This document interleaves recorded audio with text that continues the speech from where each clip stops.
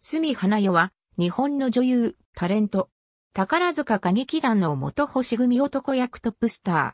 血液型は AB 型。東方芸能所属。本名、高島節子。宝塚歌劇団時代の愛称は、旧姓から、まっちゃん。兵庫県西宮市出身。九章松平市の流れを組む名家に出生する。戦時中は、岐阜県下呂市の親族のもとに、縁こ疎開していた。芦屋高等女学校を経て、1948年、宝塚歌劇団に入団。宝塚歌劇団35期生。宝塚時代の配属組は月、生、声楽戦歌の順である。春の踊りで初舞台を踏む。同期生に高千穂ひずる、宮部明子、牧勝美らがいる。八千草薫とは、一語違いである。宝塚入団時の成績は46人中35位。宝塚に入るまで女性のみの劇団ということに気づいていなかった。スターになったきっかけは代役で、その条件はカツラが頭にあったことだった。1951年、津軽の冒険の代役で主役、ベーアを演じる。1952年、サルトビサスケで初主演し、その人気はブロマイドの売り上げ1位になるほどであった。1953年にはアンニー・ローリーで宝塚新人演技賞を受賞。1958年、三つのワルツで淀香る王子三選書と共に芸術祭奨励賞を受賞する。1960年の華麗なる戦拍子では芸術祭賞、テアトロン賞を受賞。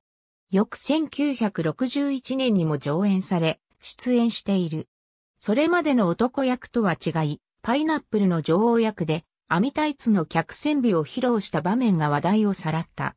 華麗なる線拍子は映像が現存する。同1961年12月31日、第12回 NHK 紅白歌合戦に初出場。在団中は男役で活躍する一方で、映画に外部出演している。1963年、高島忠夫との結婚のため、花、星組合同公演、宝ジェンヌに栄光あれを最後に対談。高島との結婚後は、ごちそうさまに、夫婦で長年出演するなど、主にテレビ番組で活躍を続ける。平成以降、平成教育委員会や、ちちんぷいぷいなどのバラエティ番組にも単独で出演している。2014年、古巣、宝塚歌劇団100周年記念で創設された宝塚歌劇の殿堂最初の100人の一人として殿堂入りを果たしている。夫の高島との関西弁の巧みな話術を交わす、おしどり夫婦ぶりはよく知られており、高島がうつ病で活動を控えるまで夫婦でのテレビ出演が多かった。私生活では高島との間に三男を授かった。ただし、長男、道夫は1964年に生後5ヶ月で家政婦に殺害された。スはこの時の心的外傷から未だに湯船に浸かることができないことを各メディアで述べている。後に出生した第二子の高島正宏、第三子の高島正信も俳優として活躍し、家族揃って同じ事務所に所属している。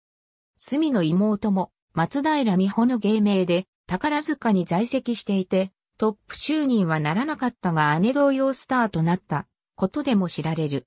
松平美穂の娘も宝塚在籍歴があり、芸名の命名や劇団生活を送る上での助言、相談にたびたび乗っていたことも知られていた。